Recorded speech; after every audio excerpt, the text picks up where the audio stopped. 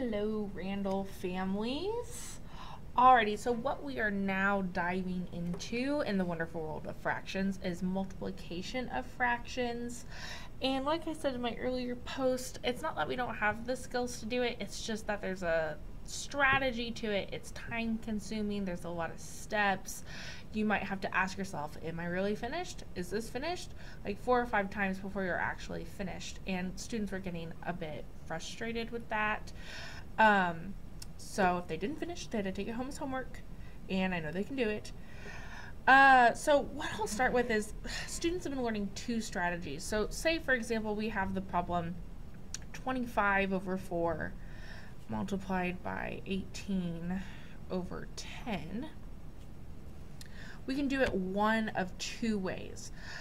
Um, however, the way I would really encourage students to do it is method two, as we've been calling it. The first strategy would for them just to multiply across 25 times 18, 4 times 10, and then from there they could simplify that fraction.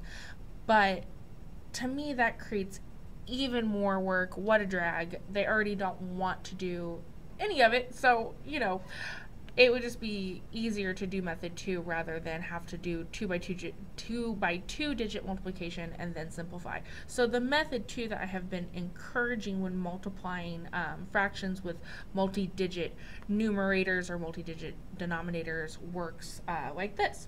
So first I'm going to look at one numerator and its opposite denominator.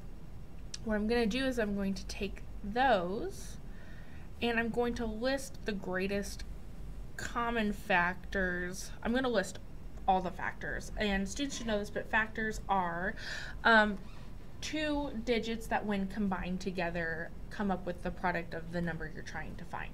So factors of I'm gonna start with four because it's the smallest and would be much easier. So for example, four and one. Okay, when multiplied together, you get the product of four. So four and one are both factors of four, as well as two and two. Um, I'm gonna write two times two just to show it, but of course, two only once. So those are all my factors of four. So I look over at 18 and I'm hoping that 18 has a factor of 4 because I want to find the greatest common factor, meaning that I want to find the factor that has the largest value, okay, the greatest value. So I'm going to say, well, of course, I know that 18 and 1 works, but again, I know that 18 is not a factor of 4 and that if it was 1, it would stay the same. So that one, you know, I wrote it, really didn't have to write it. If a student's ready to not have to write all, all those, they can go straight to, okay, can I multiply 4 by a number to get 18. And it's true, you can multiply 4 and 4 together to get 18. So that would make 4 the greatest common factor. Again, you could do 2 and 9, but 4 is larger than 2, so 4 is what we want to go with. So now that we know that the greatest common factor of 18 and 4 is 4, I'm going to divide 18 by 4 and I'm going to divide 4 by 4 and I'm going to go ahead and take it down and do it uh, this vertical way here to demonstrate a little better and I'm going to rewrite my problem this time changing my new denominator here. 4 divided by 4 is 1 and changing my numerator here to 4 alright so now this is going to stay and now I'm going to look at these okay 25 and 10 I'm going to write them again over here. Okay, and I'm going to list my factors once again, starting with 10 because it is the smaller number with the lesser value. Okay, so I'm hoping 25 has a factor of 5 because it's the largest number and I know that any number multiplied by 10 is going to end in 0 and 25 ends in 5 so that one's not possible so I'm rooting for 5 here and I know that 5 and 5 get me 25. So 5 is my greatest common factor here. So I'm going to divide 10 by 5 and 25 by 5. Alright, so I'm going to move on down here. Alright, the 1 is still here. The 4 is still here. I'm going to put the answer to 10, the uh, quotient to 10 divided by 5, and the quotient to 25 divided by 5, which is 5. Alright, and now I went from all this to this nice simple equation here. So now I'm going to multiply straight across.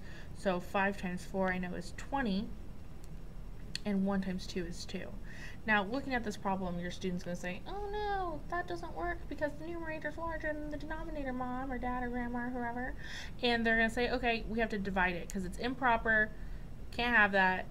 So 20 divided by 2, 2 times 10 gets you 20, and that cancels out.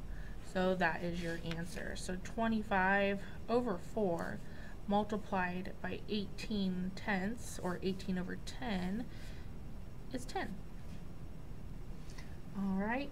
Now, completely understand, can completely see why you would not find this appealing or want to do this. But you gotta. You gotta do it. Gotta multiply the fractions. It's gonna help you in further math. Okay? Who knows? Maybe you're gonna want to grow up and be a math teacher. You don't know right now. Alright? It's gonna be on the map too, so. Alrighty, hope this was helpful. Hope you guys can get it done. Have a good night. I believe in you. You guys rock.